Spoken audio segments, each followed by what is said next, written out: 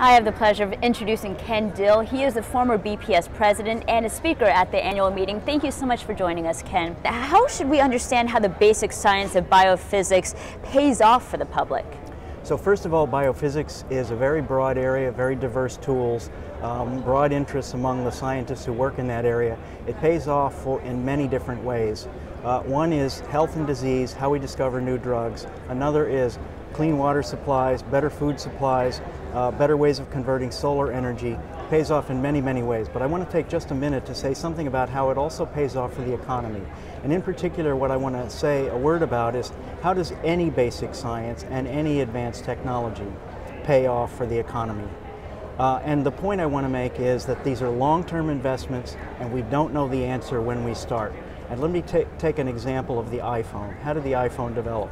One key question people often ask is, what's the relative role of basic science versus industrial science? iPhone is the perfect epitome of an industrial development. The iPhone 5 came from the iPhone 4.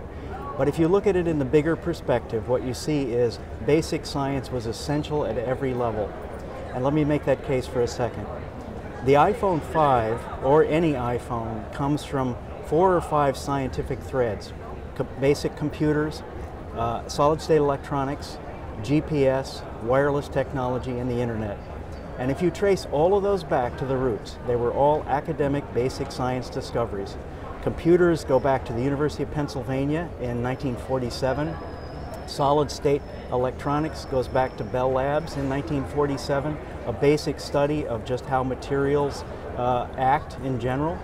Um, the GPS, uh, uh, the, uh, GPS was, was a very interesting story because that was all about testing theories of general relativity and building better atomic clocks. And that led to our ability now to locate where you are to within a few feet.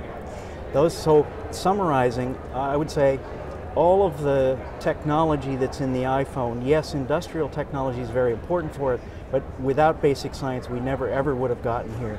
And just to summarize, I would say, first of all, it took 60 years. It's about a lifetime to get from basic science to the payoff. And secondly, I would say the payoffs are huge. $100 billion a year industry, for example, that we're talking about, lots of jobs, but it takes that time to, to be able to do that. And Ken, what are the ways that physics and uh, mathematics have contributed to biology? So that's a perfect question because in a way it's also very much about how does basic science contribute to applied science. And physics and mathematics have been very critical to how we do biology these days.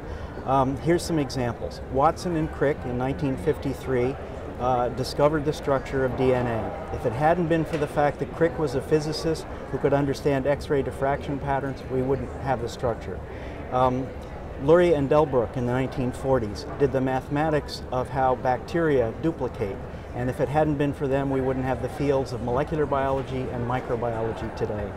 We have many tools that come from physics, X-ray crystallography, NMR, uh, atomic force microscopes, many, many tools. These are the basis for what's called structural biology. It's how we understand cells. It's how we understand proteins. It's how we discover drugs these days. Without those tools, we couldn't do any of that stuff. And one really critical thing, the last point I want to make here, one really critical thing is physicists bring one more thing, and that is they have ways of doing conceptualization called models.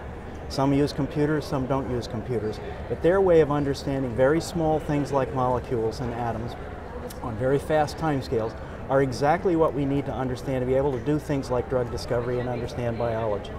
Now you've worked on a basic problem of science and that is the protein folding problem. What has been the payoff for that field of research? So the protein folding problem was kind of the epitome of very basic science. It started about 50 years ago. This is a problem of understanding how proteins get the shapes they have. They have many different shapes, and those shapes determine how they work and what kind of machinery they, uh, they what machine functions they perform in your body. Um, it, was a, it was a problem of basic science, but there have been many collateral successes along the way that paid off for the economy.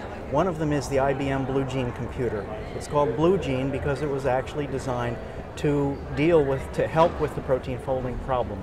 Um, so now we have a huge technology out there, the IBM Blue Gene computer. We have also distributed grid computing. A lot of that was developed because of the protein folding problem. We have new materials that are based on molecules that can fold up like proteins can. And probably the most interesting and critical one has to do with a class of diseases like Alzheimer's and Parkinson's disease, Huntington's disease, type 2 diabetes, that back when we started working on the protein folding problem, we didn't know they had any relationship to these diseases. And then in the 90s, the 80s and the 90s, we discovered those diseases are all protein folding diseases. And so now, at that time, we then had a whole toolkit and a bunch of technologies and a bunch of people who all knew how to start uh, accelerating progress on those diseases because of it.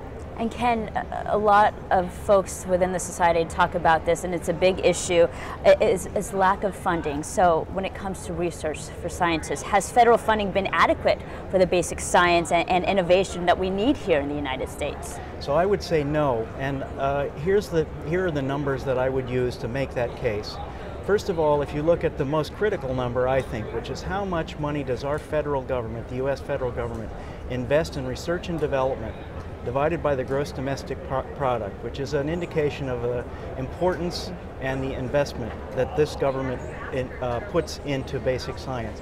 It was 1.7% of GDP in the 1960s. It's a third of that now. It's 0.7%. It has dropped monotonically all from it has dropped for many years consistently. And so unfortunately what's happened is we are not investing and we have not been investing for 30 to 50 years anywhere near as much as we used to invest in basic science and technology. And let me just make one last point and that is let me also compare how much our federal government invests in basic science versus how much our companies invest in more, more the development side, you might say, of technology development. And that too is a number that has dropped dramatically over the last 50, uh, 60 years. It used to be that our federal government would put in $2 into research and development for every $1 that, that companies across the country would put in.